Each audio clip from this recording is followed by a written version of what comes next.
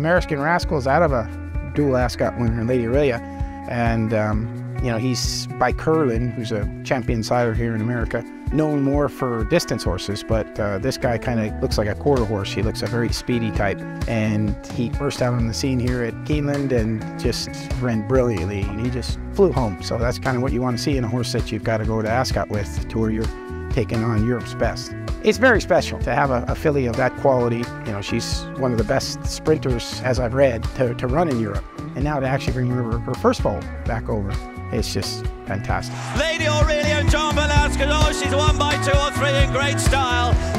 She'll be going to the King Stand, and you know, she's a filly. So, um, but we've won it with Lady Aurelia with a filly, and she's doing really, really good. She sort of developed really nice and put on uh, some size and some weight and substance to her. She's very strong right now, and she ran a, a really nice race here in her comeback effort. Twilight gleaming down to the line for Irad Ortiz Jr. Twilight gleaming to get it.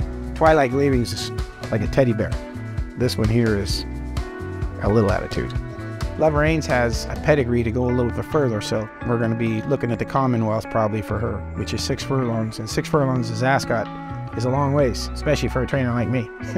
Love Reigns is letting late as well. Love Reigns up the inside. It's a long ways home if you get beat, you know. And uh, initially, when I first went over, it was so great, you know. But you know, as the years went on, I knew how lucky I was in that uh, everything really has to come together for you to win. Um, I like to kind of center it down to where I bring the best of what I have. And essentially, those would be the best in America as far as uh, younger juveniles. And a lot of the owners will want to go, and I tell them, look, you know, it's it's we've already been through there where we're going to have an outing in a day and a run, but it's just it's no fun when you run seventh or seventeenth.